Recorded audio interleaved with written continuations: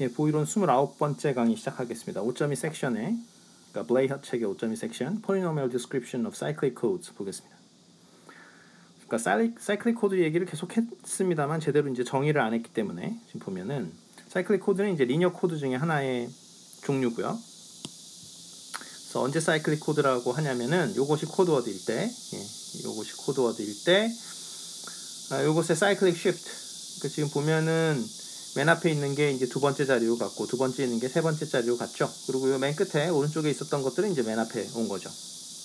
그러한 cyclic shift. 물론 뭐 왼쪽으로 shift를 하든 오른쪽으로 shift를 하던 간에 상관없습니다. 전부 다 들어가 있어야 돼요. 네. 그래서 cyclic shift를 한 것이 여전히 code C 안에 들어가 있는 그러한 code를 우리가 cyclic code다라고 얘기를 합니다.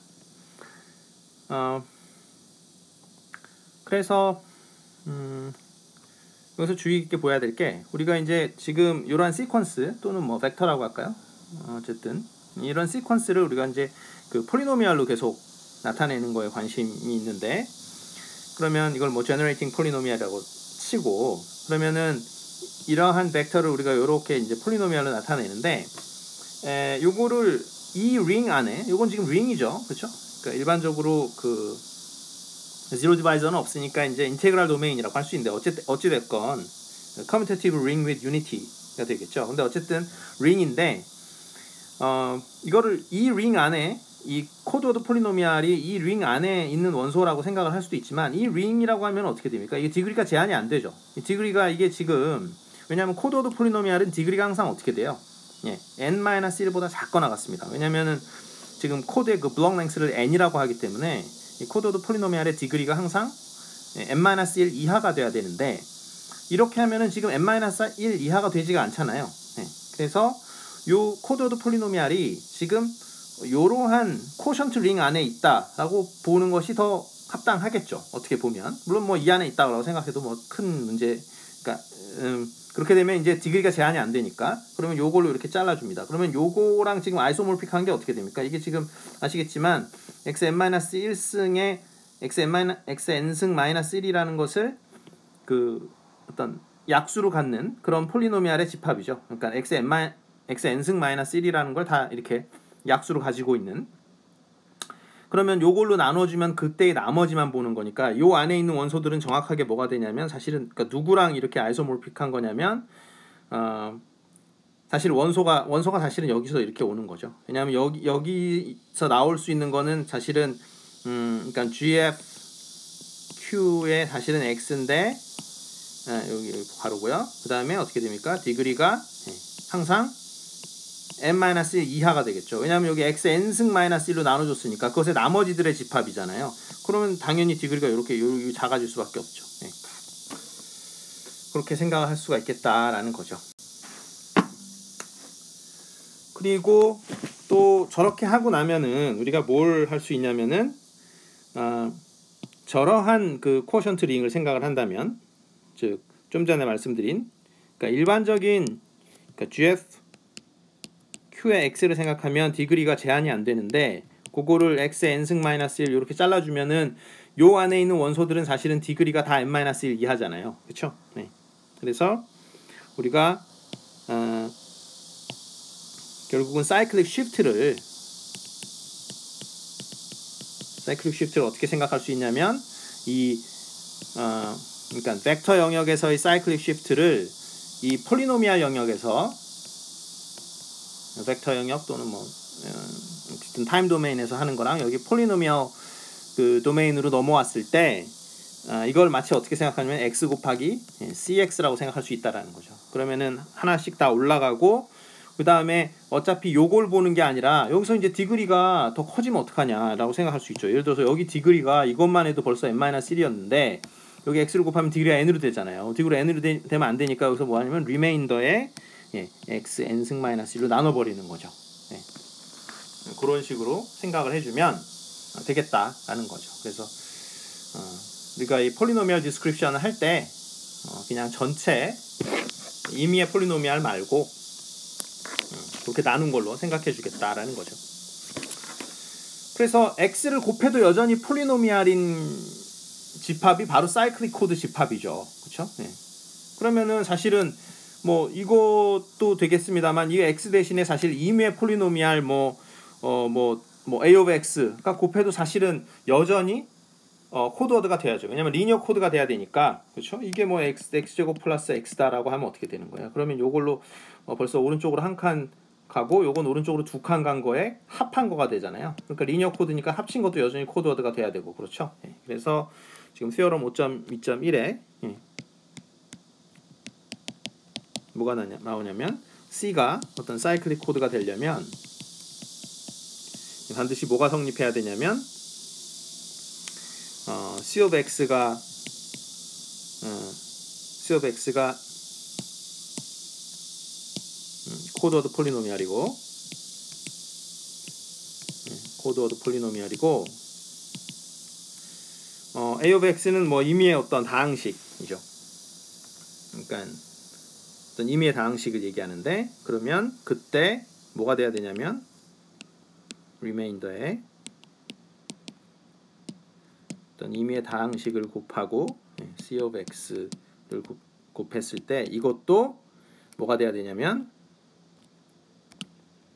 음, 이건 역시 네, 바로 네, codeword polynomial이 돼야 된다.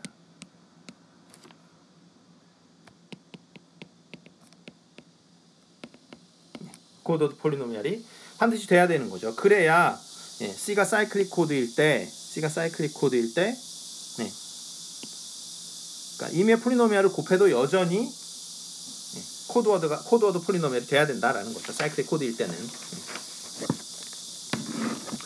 그리고 예, 이거는 이제 필요 충분 조건이라서 그러니까 요게 codeword polynomial이 되면 어, 그러한 codeword polynomial들로 모여진 그러한 집합 그것은 사실은 cyclic 코드다. 네, 그것도 증명이 가능합니다. 그래서 어, 그러한 그러니까 the unique monic polynomial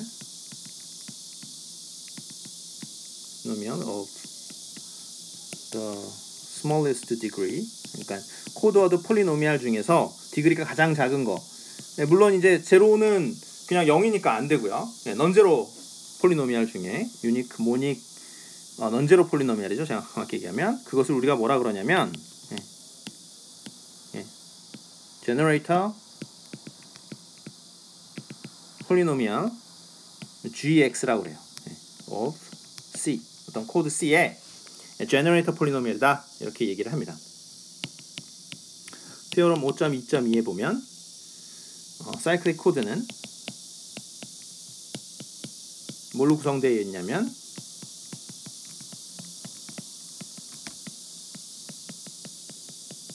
all multiples of gx. 그러니까 gx의 곱으로 다 표현이 된다라는 거죠. 예. 예, by